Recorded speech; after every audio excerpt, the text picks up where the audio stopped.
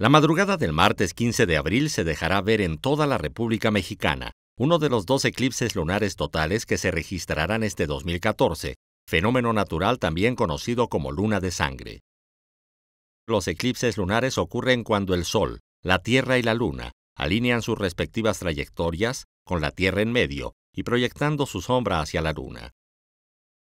En el eclipse lunar, la Tierra es la que proyecta su sombra sobre la Luna y el fenómeno puede verse en todos los sitios donde sea de noche.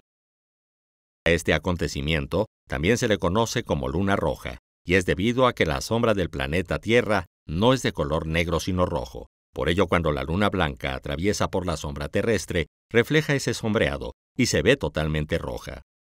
El máximo punto del eclipse será a las 2.23 horas, y a las 3.23 la luna saldrá de la umbra, que es la parte más oscura de la sombra de la Tierra, y el eclipse concluirá completamente a las 5.36 horas. Con información de Romeo Valentín Arellanes. Notimex.